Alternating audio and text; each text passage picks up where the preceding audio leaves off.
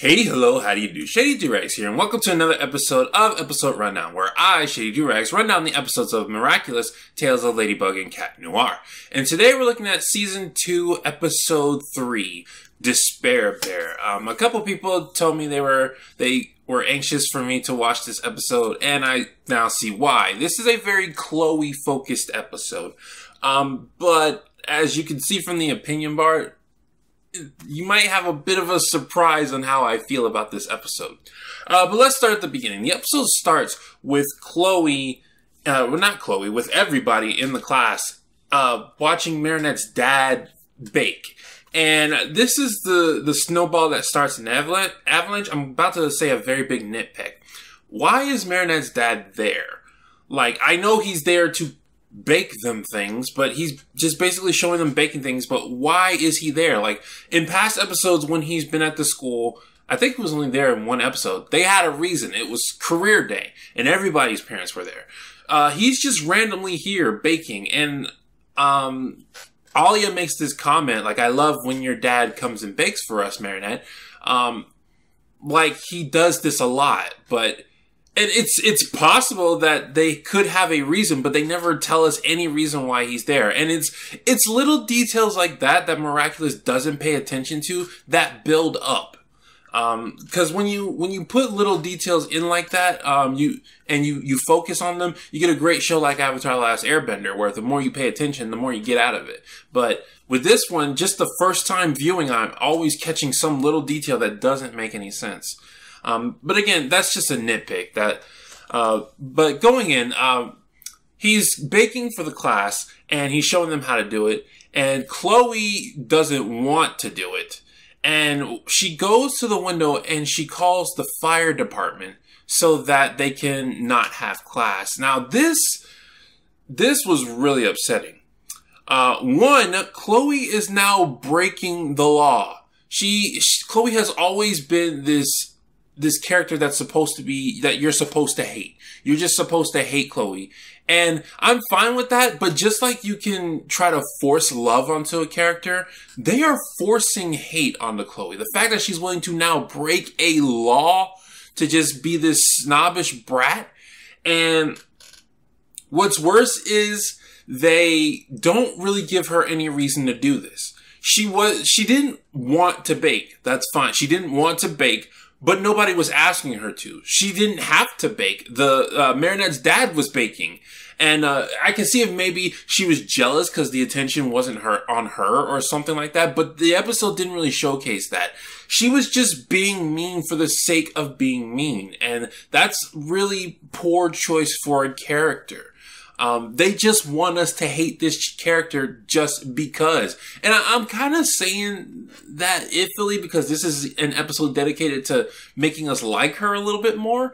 But whenever they, whenever Chloe does something bad, they tend to not really give her good reason behind it. Or I, I shouldn't say whenever, but this, this time it was really bad.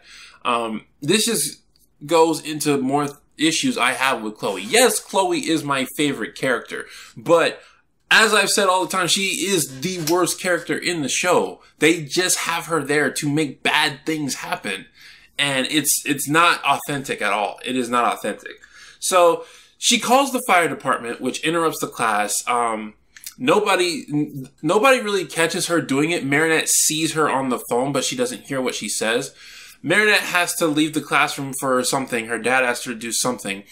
And she goes to she as she's going downstairs, the alarm goes off, which is weird that the fire alarm would go off. But I'm just gonna I'm just gonna ignore that and say I don't know. The fire department called the school back and somebody pulled the alarm because the alarm doesn't go off just because you call the fire department. But uh, the principal announces, "Hey, somebody called the the fire department. Uh, said there was a fire. This is a serious offense." Um, this is a small behind school. Like, what kind of school is it that it only has like some 20 to, to 50 students. This is a really small school. And the principal's addressing, and you know they're doing this little comedy skit where the fire department guy has to go, and the principal's not letting him. And the and Chloe said Chloe tries to blame it on Marinette. She says she saw Marinette leave the class just before the fire department came. Maybe it was her. I like that both Adrien and Alya stood up for Marinette.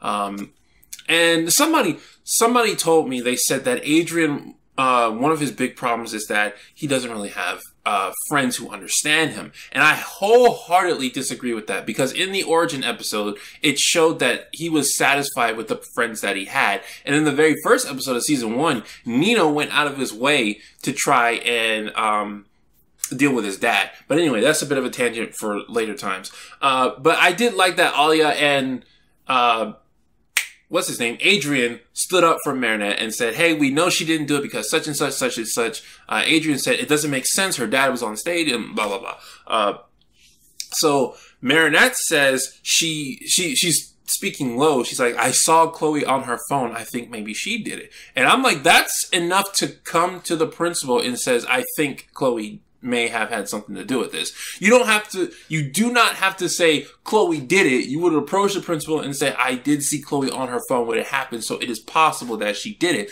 But Adrien and Alya tell her not to do it because she's not Chloe and she doesn't have enough proof. Um, no, you don't go making accusations, but if you have a suspicion, you tell the authority figure your suspicion. Um, and they can handle it. And then if in their investigation or whatever, they find out that there's not enough evidence, then that's how they handle it. But no, uh, as she, she shouldn't have like yelled out. It was definitely Chloe because I saw her on her phone. She should have came to the principal afterwards and said, Hey, I saw Chloe on her phone when it happened. So I really didn't like that. Chloe, uh, the, the principal then says, uh, I'm going on a real long tangent just on this first part, but I, I might just have to spend a good chunk of time on this episode because this is supposed to be a Chloe episode. It's supposed to be really good, and there are a lot of things that kind of frustrated me. The principal uh, then says, well, if nobody wants to confess, I'm going to punish everybody. Now, you can do that in a class and get away with that. If you did that in a school, there would be some serious protests, especially with one of the parents at the school. You're going to punish my kid for something they didn't do. You can't just punish everybody because one person did something. Like I said, if it was a classroom, you could get away with something like that. Uh, but an entire school, no. Uh, I this principal guy annoys me a lot. Um, not just in this episode, but in, in, past episodes. He's not as annoying as the mayor. The mayor is just despicable, but this principal guy annoys me. So then Chloe says, um, excuse me, my dad's not gonna like if you punish me without any proof. And he says, he blatantly says everybody is punished but Chloe. He's not, he doesn't even try to hide his favoritism towards Chloe anymore. He, he, he, it's, it's unrealistically annoying. That's, that's what's getting me. Um, I wouldn't mind if he had a bias to Chloe, but a principal in this position would try to hide it more. He just outright shows his biasness. It's again the episode being so blatant about you guys need to hate Chloe. You need to hate her. See how hateable we made her? You should hate her. And it's not realistic. Uh, or it's not believable. That's what I should say. So everyone gets punished but Chloe, and I would think Chloe would want want to make it so that Sabrina and Adrien don't get punished, but she doesn't. She just makes it so she doesn't. Adrien comes knowing uh, what Chloe did because he heard Marinette, and he says uh, he he asked Chloe if she did it, and she said, "Of course she did it." Um, and he said, "Don't you feel ashamed? Everybody's working because of something you did." And Chloe says, "Yeah, but they like doing things like cooking anyway, so it's not like it makes any difference." Now that that got me happy and upset at the same time, uh, because in, from Chloe's perspective, physical work is physical work. Um, if you like doing one, you you like doing another. That makes sense to her as a character, as somebody who doesn't do physical labor. You know, she doesn't. She we've seen in the past she doesn't like to to work on her projects. She doesn't like to to clean. She doesn't like to uh, cook. She doesn't know anything about all that stuff. Uh, that makes sense to her character, and I kind of like that. But at the same time, they kind of make it seem like she did that just so she could force everyone to clean. N- that makes no sense. Why would she do that? And, and you might say, well, she was trying to be nice. This whole episode is about how she doesn't know how to be nice. She doesn't know how to think about others. Um, so no, I'm not going to say she did that to be nice. I'm to say that she did that just to be mean for mean's sake. And that's the point. She has no motivation. Chloe has no motivation behind her meanness, and it upsets me because uh, I I like the character of a mean girl, especially one who's very pretentious and um, very um, sure of herself. But without any really motivation behind her. It's literally just she's literally just doing it so the plot goes on. That it makes her a plot device essentially. So Adrien tells Chloe, "If you're gonna act like this, Chloe, I can't be your friend anymore. I know we've been friends since we were little." Um, but I can't I can't be friends with you if you're gonna do that. Finally, freaking Adrien. Adrien should have done this a long time ago because there have been so many scenes where he's just looked at watched Chloe do something horrible and just accepted it. I'm finally glad I'm glad they finally addressed it. Um, so Chloe has a, a breakdown because um, you know Adrien is like her life, and she uh she talks to her butler, not Sabrina. I found this weird. She talks to her butler about this. Um the butler, who actually does genuinely care about Chloe, um, brings out this teddy bear and says, you know, he he was always nice to you. When you're in a situation, you should just think, what would what was his name, Mr. Cuddly? What would Mr. Cuddly do?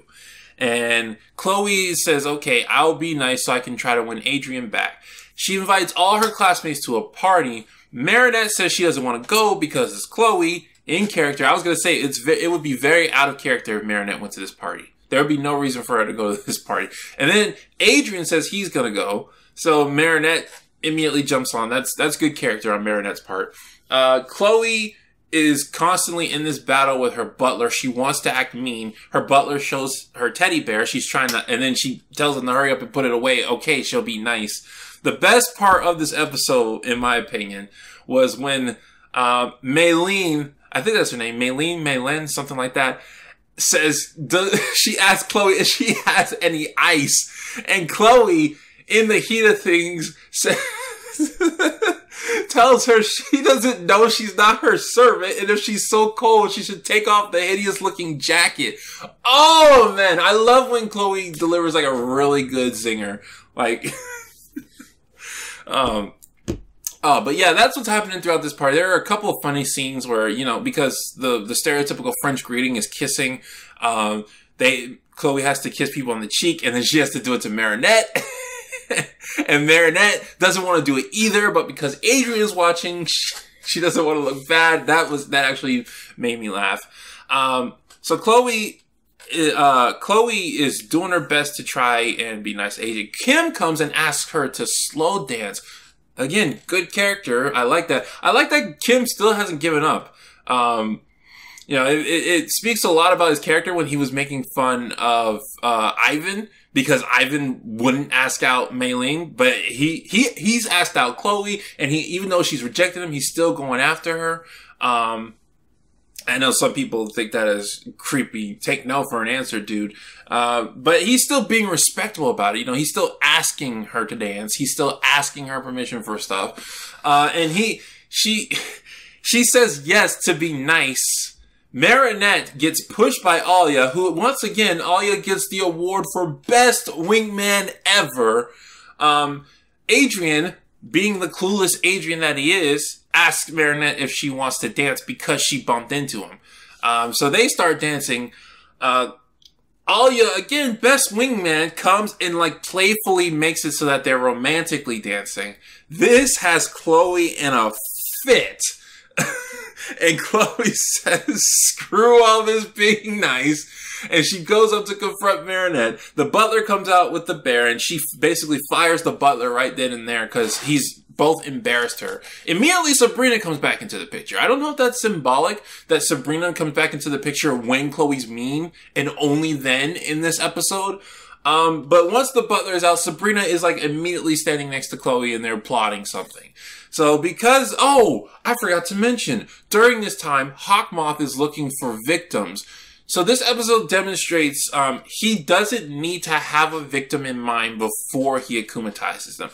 I thought when he akumatizes them, he put the power in the Akuma and then it turned them into that specific thing. No, he just puts generic power into the Akuma and then he can choose the power once they, uh, once it makes contact. So he knows that he knows that Chloe is going to upset someone. Remember in my review how I said Chloe is responsible for half the problems, half the Akumas in the show? They are now self-aware of that. Hawkmoth is upset because Chloe is nice because he knows that she can usually tick someone off and he can use that to make an Akuma. Uh, they actually say that out loud. I'm not sure how I feel about that because I, I like when things are self-aware, but at the same time, uh, to quote Mr. Enter, pointing out your problems does not make them go away. I don't even know if they see it as a problem. So the the butler becomes uh, Despair Bear, and basically he's controlling. He's tiny inside this bear, controlling it, and the bear can grab onto somebody and then control them. Um, it's not the most um, creative of villains, but this episode was meant to focus on Chloe. They just threw the villain in for uh, repetitive sake. So, uh, Ladybug and Cat Noir show up uh, as the bear. The bear is constantly trying to attack Chloe. Ladybug and Cat Noir show up, and Chloe instinctively helps Ladybug. And she says, Hey, I was nice. And I'm like, uh, Is it really nice or is it uh, instinct? You know, does it really count? Um, I mean, you can do something nice out of instinct, but I wasn't sure if that really counted. Marinette goes to fight this. Uh, oh, of course, this is a, a, villain who can take control of people. So as when I saw that, I said I was look, watching the episode like this. I'm like, I wonder if Cat Noir is gonna get taken over. And then immediately after, Cat Noir got taken over. It's they please stop that. Please stop that. If you want, I don't care if the episode makes Marinette this super duper awesome hero that's better than everyone else. But stop making Cat Noir look like such a chump. It downgrades him and it downgrades Ladybug's um, importance because you have to. It feels like you have to downgrade Cat Noir to upgrade uh, Ladybug. So they go on the roof to fight, and Chloe, who's feeling confident about her niceness because she helped, goes up to help them. Um, and Ladybug, uh, this is really weird to me. Um, she accepts Chloe's help, and together they defeat the Despair Bear. Um, that felt really weird because of how much Marinette just hates Chloe. But it's something I'm willing to debate about because A, we've already had the problem of Ladybug not accepting help from Chloe. And so if they did it again, that would just be a repeat. And B, uh, she Chloe did help Ladybug earlier, so maybe she was feeling in a generous mood. Um, but yeah, uh, they defeat Despair Bear, and Chloe uh, feels good about herself because she helped and she considered that being nice. Again, I'm iffy about how that is considered being nice. Um, that's more of a dopamine rush. You feel accomplished. You feel like you've done something. So they go back downstairs to the party with uh, Ladybug and Cat Noir turning back into Adrien and Marinette. And Chloe goes to Adrien and says, See, I can be nice, Adrien, so can we be friends now? All the complaints I've made before are just whatever. I, I, you know, I feel the way I do. But this, to me, is the major complaint I have with this episode. Adrien says to Chloe, yeah, Chloe, you can do it if you put your mind to it. We'll be best friends forever. One thing, friend zone, but that's just that's just that just made me giggle that Chloe put herself in the friend zone. Uh, but that's that's not what I have issue with. The major issue I have with this episode is that Chloe was clearly being nice just so Adrien would like her. That was the only reason she was being nice. The only time she wasn't doing that was when she was helping Ladybug. Um, but all all Adrien I thought the episode was going to address it. I thought Adrien was going to say, Chloe, I'm so glad to see you being nice, but you can't just be nice just to be friends with me. You have to, it, it has to be something you want to do. And they could have incorporated that with the Ladybug. Adrien could have said, like the way you helped Ladybug, you wanted to do that. You have to incorporate it into yourself that you want to be nice to people. But Adrien does not say that. Instead, once he makes the, the pinky promise that he'll be best friends with Chloe forever, um, Chloe goes right back to being mean, and Adrien says, she'll never change. No, Adrien! No! You were so dismissive of this horrible behavior that Chloe had.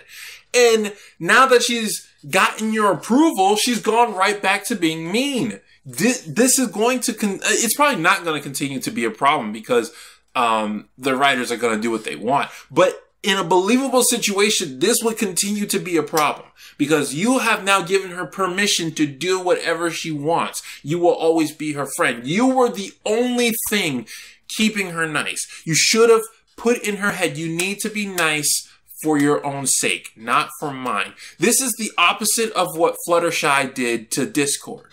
Um, Discord or Discord was always on uh, what he considered a cage because if he wanted friendship, he had to be nice. Chloe is getting friendship and she's not being nice. That to me just destroyed everything the episode attempted. That's why I, I hate this thing more than the other stuff because the other stuff, while I do believe um, had their issues, they were trying to build something with this episode. I think that one moment destroyed all the effort of the episode. Chloe just gets to go back to being mean. And so, yeah.